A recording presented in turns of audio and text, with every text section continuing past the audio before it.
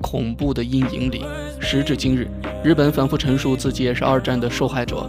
就在七十多年前，两颗原子弹要了十四万日本人的命，而日本人似乎忘了，正如日本是唯一的核武受害国，而中国也是二战时期细菌武器的唯一受害国。然而，让我们感到意外的是，很多外国人都并不知道这段历史。因为美国小伙走出七三幺部队罪证陈列馆后，心情依旧久久不能平复。他感到十分的惊讶，因为只有来到七三幺部队遗址，他才知道原来日本曾经这么可恨。在西方世界的谎言里，他们只知道美国炸了日本，甚至认为日本是可怜的，从来都不知道原来二战时期的日本竟是如此残忍可恨。七三幺部队在东北的罪行可以说罄竹难书，光是细菌实验就多达二十九种。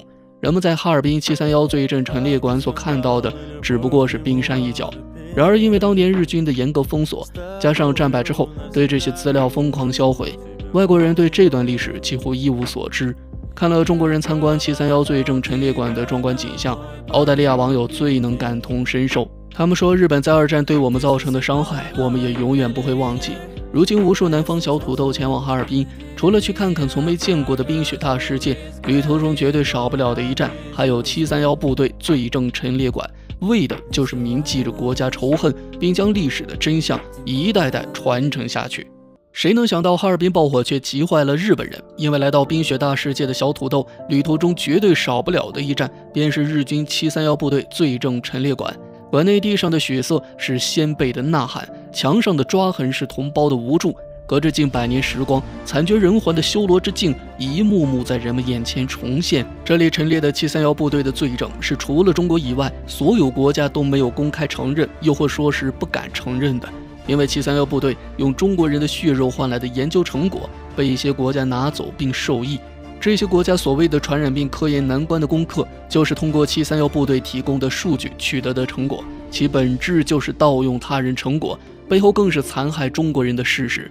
不管天气有多寒冷恶劣，无数国人依旧在馆外排起长龙，准备回顾这段沉痛的历史。哈尔滨的爆火让七三幺部队遗址逐渐出现在大众的视野，甚至很多外国友人也来参观。越来越多的外国人了解这段历史，并呼吁全世界正视历史、尊重历史。哈尔滨让日本鬼子的谎言无所遁形，日本外务省数十年的努力可以说全部白费，因为他们残害中国人的事实再也无法隐瞒。就反人类的程度而言，和七三幺部队的罪行相比，纳粹德国都只是个小辈。日军七三幺部队残害的也不仅仅是中国人，还有朝鲜人、俄罗斯人以及美国人。馆内陈列的罪证，甚至会让人产生心理以及生理上的不适。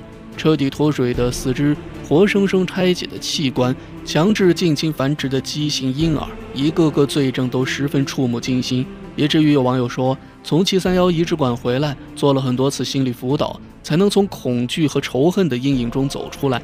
然而，不论国籍，没有人能平静地走出这个罪证陈列馆。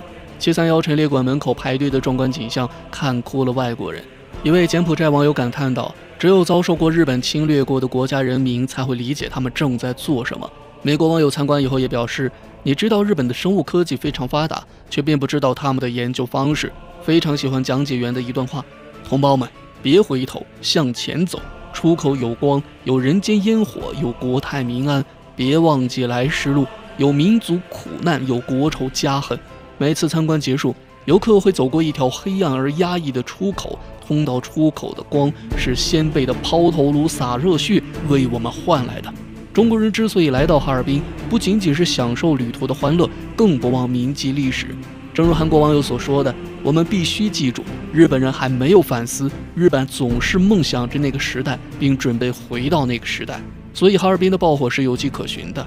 日本外务省花了那么多经费洗白侵华历史，却让中国人的仇日情绪空前高涨。不仅仅是七三幺罪证陈列馆的铁证，恰恰也是日本鬼子洗白历史的恶果。